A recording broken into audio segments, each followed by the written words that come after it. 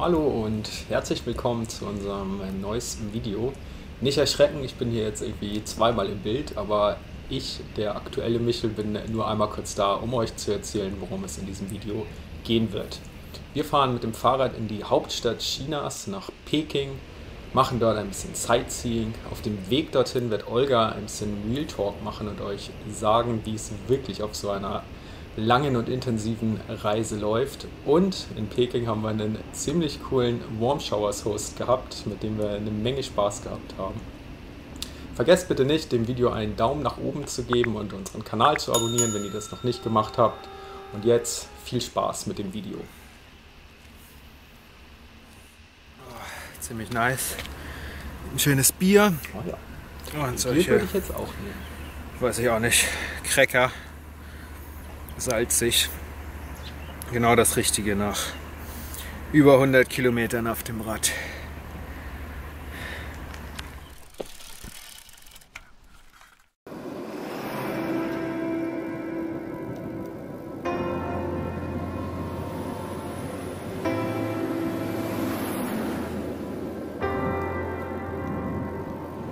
Also wir sind auf jeden Fall in der nächsten Provinz jetzt gelandet. Wir sind jetzt in Hebei, haben Shanxi verlassen und ja, sind auf dem Weg nach ähm, Shijiazhuang, wo wir unseren Couchsurfing-Host haben.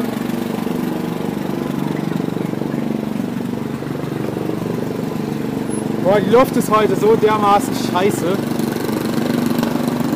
Das hatten wir bisher echt noch gar nicht in China, dass es so schlecht ist. Absolut, ja, das erste Mal. Merkt es richtig in der Lunge, beim Atmen. Man merkt es echt. Okay. Nummer 1. Press the left button of the bottom. Okay. Uh, turn the light screen will be on. Dann 9, 9. Und dann press the right bottom of the bottom. Jetzt.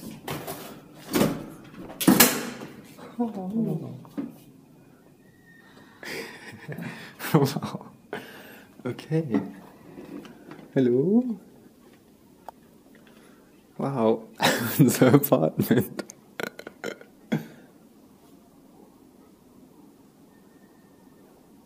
Krass. Okay, lassen Reinfahren.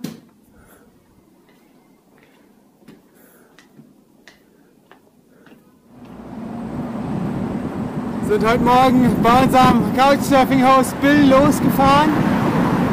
Und ja, wir haben ihn tatsächlich nicht getroffen. Wir haben gestern Abend nur einmal mit ihm telefoniert. Quasi kurz gecheckt, dass alles gut ist, dass wir gut angekommen sind. Und ja, er meint, wir sollen uns wie zu Hause fühlen. Und alles kein Problem, alles easy ziemlich spannende Erfahrung. Ja, unsere Frage ist, oder unser Gedanke war, würden wir das auch machen? Würden wir unser Apartment oder unser Haus auch einfach so irgendeinem fremden Menschen übergeben, ohne ihn vorher getroffen zu haben und ohne ihn auch äh, quasi ja, jemals zu treffen im Endeffekt? Ähm, ja, wir haben gesagt, ja, wahrscheinlich würden wir es schon machen weil wir ja, den Menschen einfach entsprechend vertrauen und insbesondere auf Couchsurfing kann man sich halt auch die Reviews und so weiter durchlesen von den Leuten. Da hat man schon eine ganz gute Vertrauensbasis. Von daher, ja, würden wir es glaube ich auch machen. Und jetzt die Frage an euch, würdet ihr das auch machen?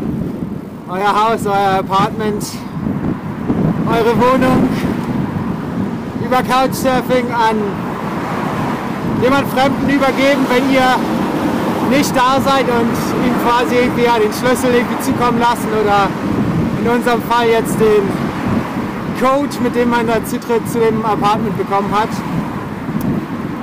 Schreibt das mal in die Kommentare. Wir sind gespannt.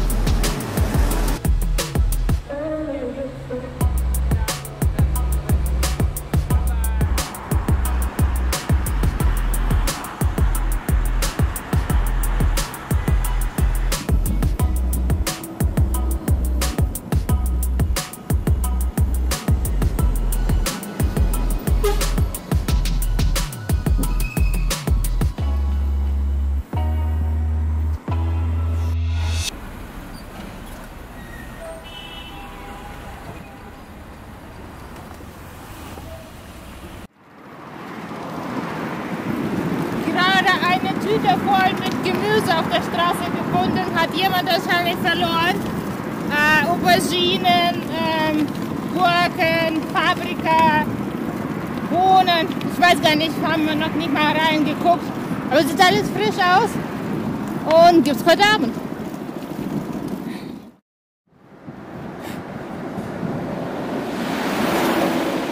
Wir können nicht auf dem Seitenstreifen fahren, weil auch hier wieder der Weizen getrocknet wird.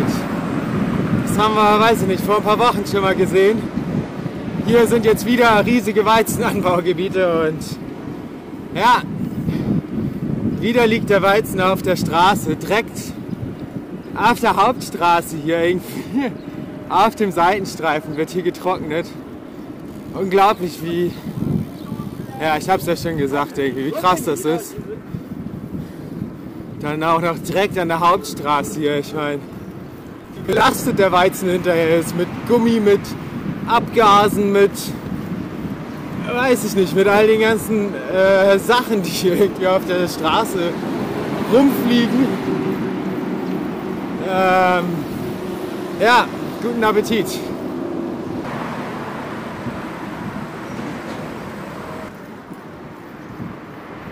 Die letzte Etappe heute bis nach Peking. Äh, ungefähr 100 Kilometer für heute. Und wir haben einen Warm Showers Host, äh, über den wir noch nicht so viel wissen. Er hat uns irgendwie direkt auf Facebook einfach angeschrieben. Ich glaube, wir wissen noch nicht mal, wie er heißt. Oder? Ja, keine Ahnung. Wir wissen, wo er wohnt. Und das sind ungefähr 100 Kilometer. Vor uns ist ein Auto. Und ja, wow. Wir kommen in Peking an heute. Die Hauptstadt von China.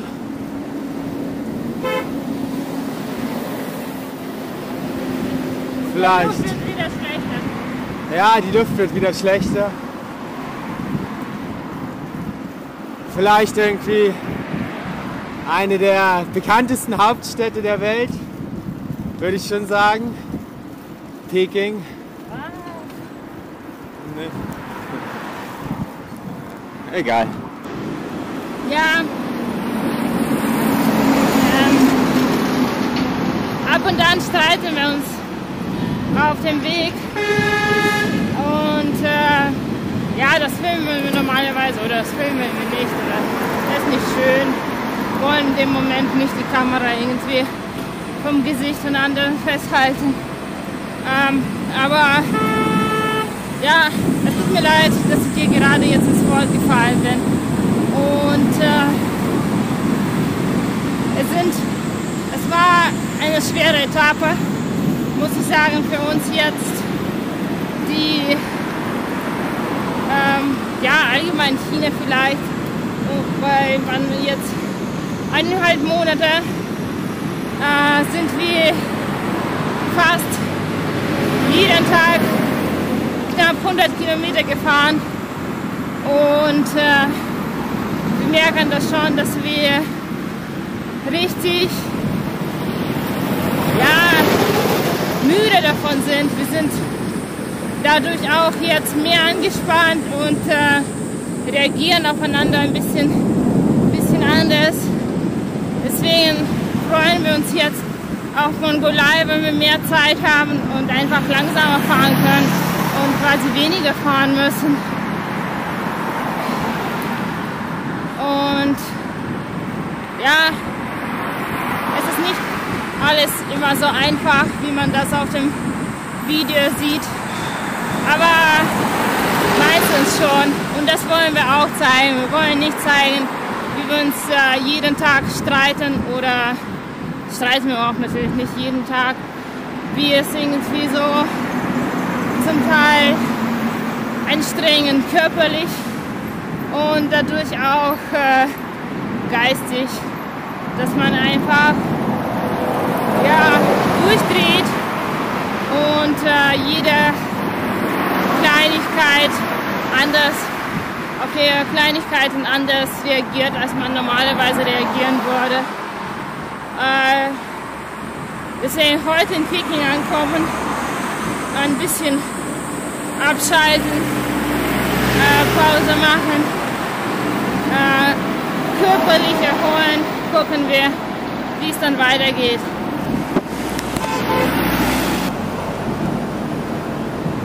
Mich hat Peking irgendwie schon äh, eine besondere Bedeutung. Äh,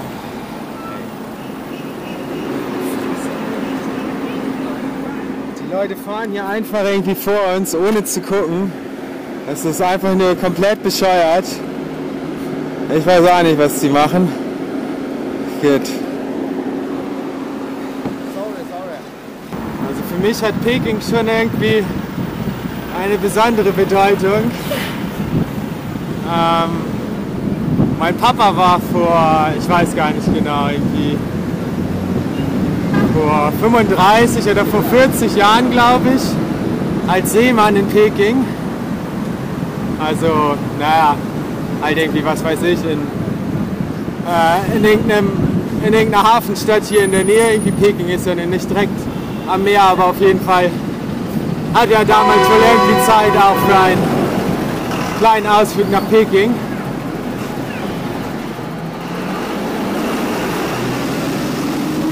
Und ja, als ich klein war, hat mein Papa dann immer über Peking erzählt.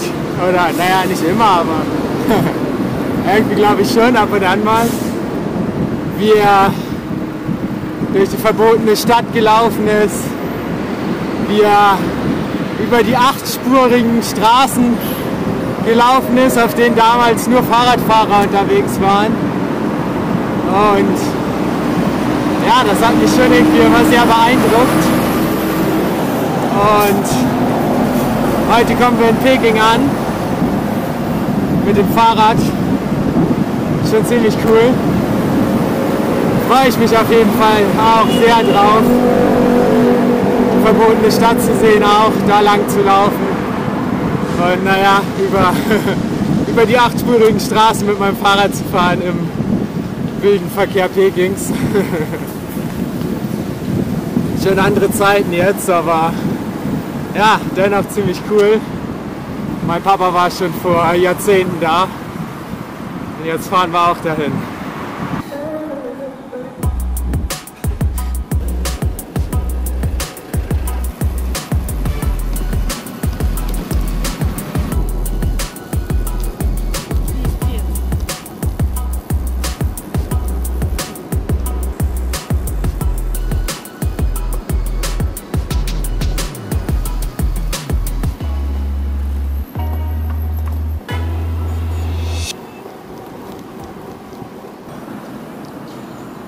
Sind in Peking angekommen, sogar eine Stunde früher als äh, mit unserem Host verabredet.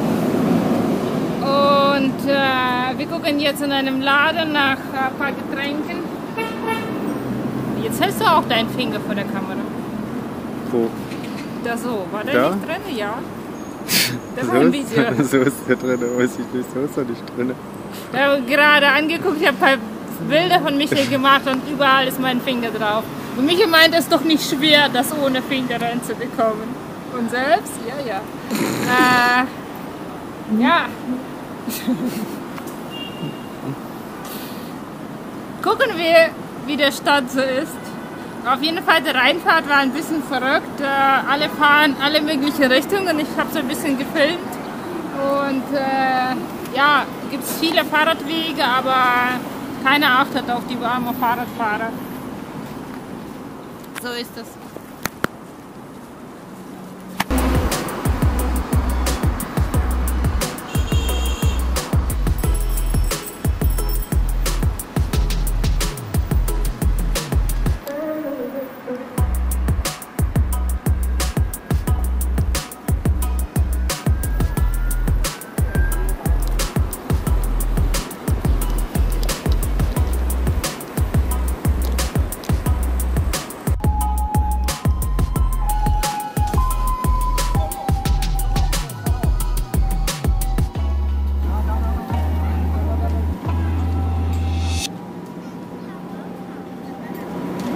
Was hat er vor? Hm? It's very heavy. Nice.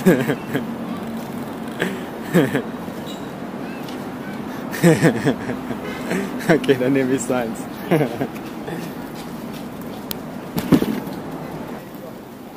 How is it? Good? Heavy? Mine is but also heavy. Uh, your English uh, like uh, German. My English like German?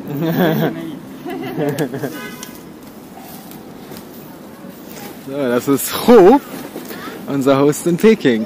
Ne, der Typ nicht, sondern der da hinten auf dem Fahrrad. Und das war mal mein Fahrrad.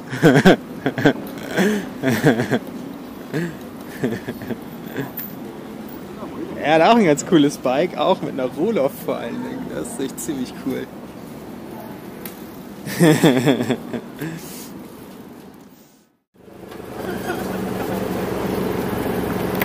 okay, wir machen jetzt einen Ausflug mit dem Warmtower Horse zum äh, Nudelsuppe essen und äh, fahren in einen coolen äh, Motorbike. Ah, yeah, I take this one. Oh.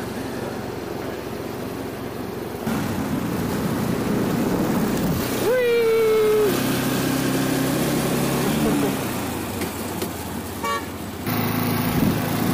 Wir haben natürlich vergessen, die Kamera anzumachen, als wir gegessen haben. Gab es super leckeren äh, Pfannkuchen, irgendwie so mäßig mit unterschiedlichen Füllungen, so, so Frühlingsrollen quasi, die man nicht äh, frittiert hat. War sehr, sehr lecker. Und jetzt äh, fahren wir ein bisschen Bier trinken.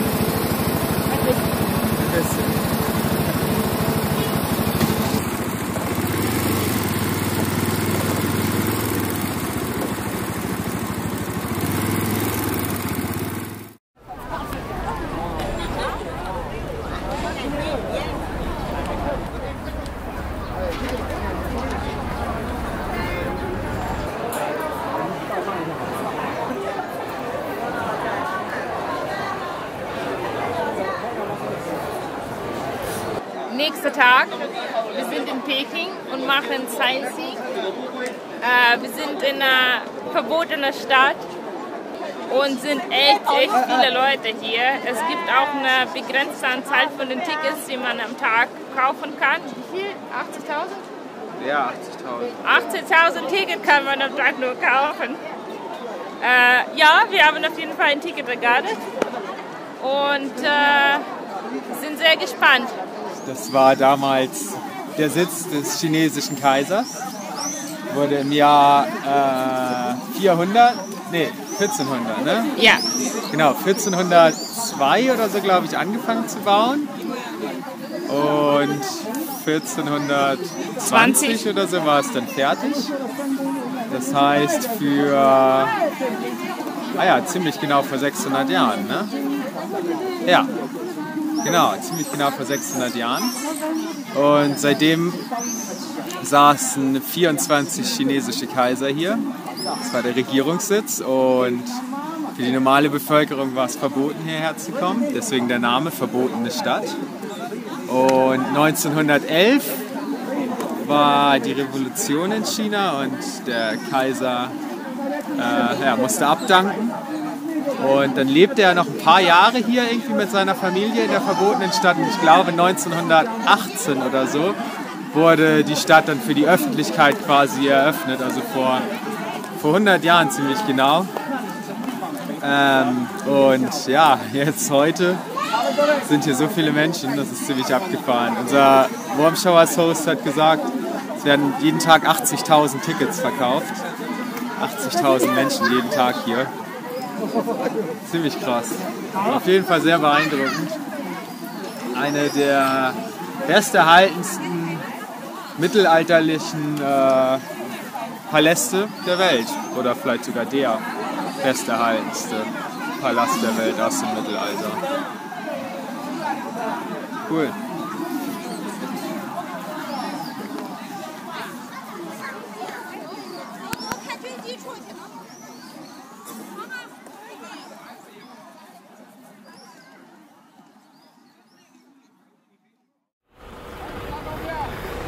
Genau gegenüber von der verbotenen Stadt ist der Tiananmen Square, der Tiananmen Platz.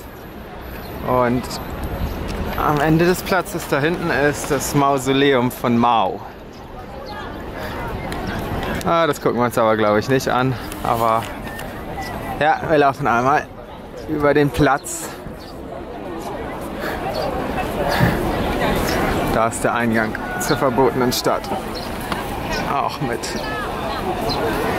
einem Porträt von Mao.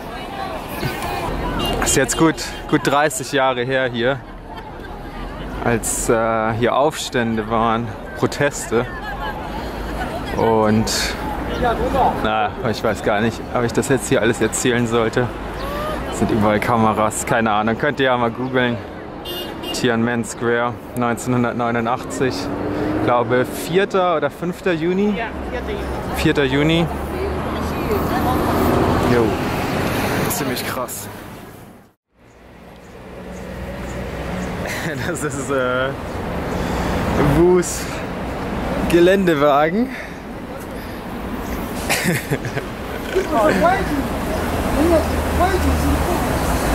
Und mit dem fahren wir jetzt irgendwie aus der Stadt raus. Sieht ziemlich wild aus, das Teil.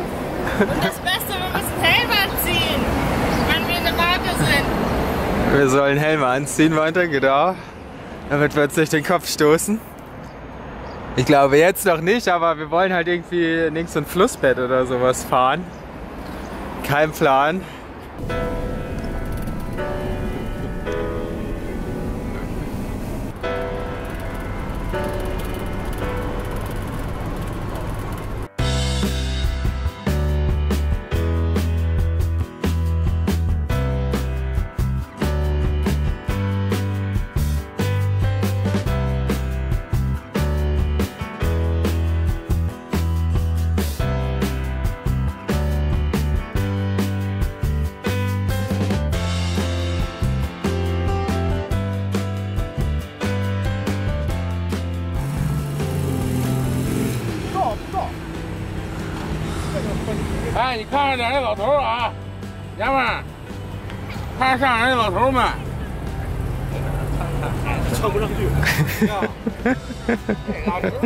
Das ist auch hier echt ein richtiger Expertenverein. Geil. 那那个，这东西冒黑烟呀。